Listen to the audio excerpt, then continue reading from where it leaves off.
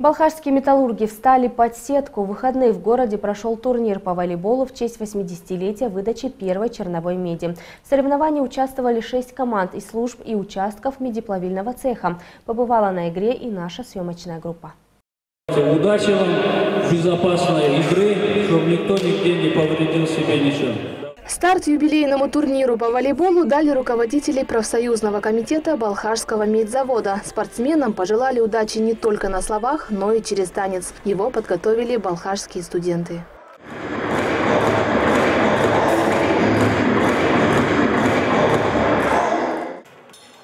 Команда анодного цеха разминается перед игрой. Несколько упражнений для разогрева мышц после отработка передач. Команда опытная и сыгранная. Таким составом металлурги занимаются вне рабочего времени уже третий год. Э, Сегодня собрались сильные игроки плавильного, конвертерного и других цехов. Все мы после работы занимаемся в спортзале. В своих силах уверены. Надеемся выйти в финал.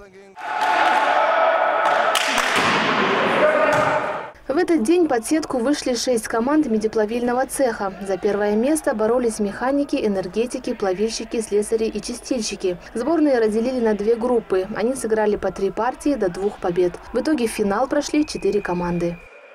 По волейболу соревнования проводятся в один день. Сейчас определятся финалисты и победители. Будут номинации «Лучший разыгрывающий», «Лучший нападающий», «Лучший болельщик».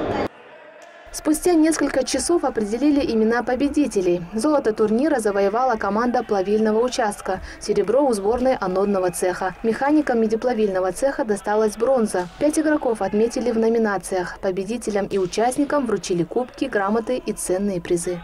Акмарал Хасина, Руслан Сепен, Уркин Медиа.